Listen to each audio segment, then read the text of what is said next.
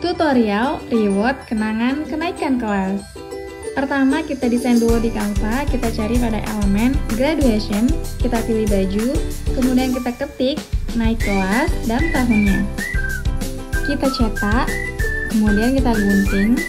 Tips gunting ala saya, jadi saya memberikan aksen garis putih di pinggirnya itu, kemudian kita gunting bagian topinya, untuk bagian suratnya, saya cetak menggunakan kertas yang agak tebal, bisa pakai buffalo juga. Untuk langkah kedua, kita laminating, dan tips laminating supaya tidak cepat kelepas, itu kita gunting dulu, baru dilaminating.